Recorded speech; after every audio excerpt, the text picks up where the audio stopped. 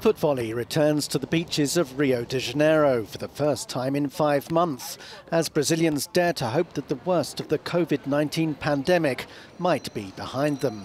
The number of new cases has levelled off in recent days, but the World Health Organization is warning there's no room for complacency. And there is absolutely no guarantee that that will go down by itself. Um, we've seen this in other countries.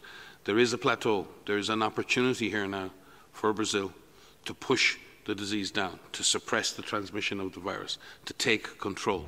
Committed shoppers can still be seen on the streets of Beverly Hills, but elsewhere in California, teams of military doctors are being deployed to make up for hospital staff shortages.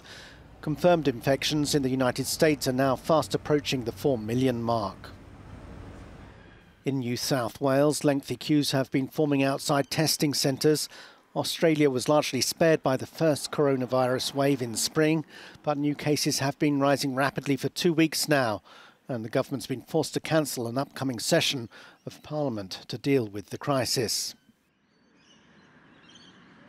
Australian doctors say they've created a new blood test for coronavirus that generates results in just 20 minutes.